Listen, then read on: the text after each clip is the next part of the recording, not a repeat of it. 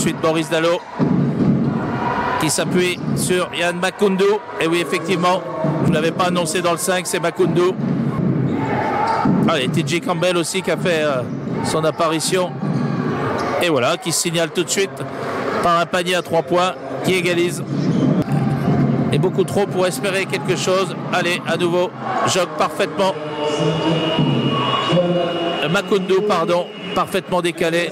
Allez, Robino qui pousse bien le ballon et qui glisse malheureusement. Et là, on va aller finir avec le superbe dunk d'Abdouloum et Laurent Villa, voilà, qui arrête le jeu. Il l'a pas contrôlé d'ailleurs, Rachard Kelly. Les Dijonais qui font preuve un petit peu d'impatience.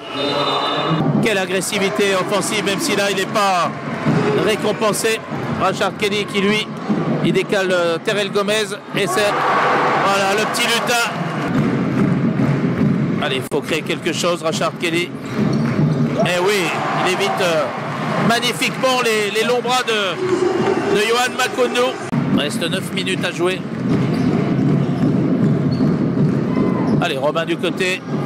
Il aime bien ce genre de shoot sur les appuis. Allez, là le shoot à 3 points. Parfaitement pris.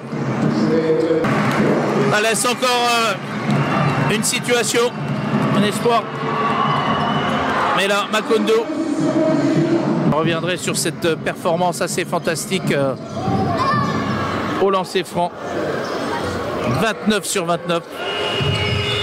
Voilà, on restera donc sur une belle victoire Choltez, 87-80.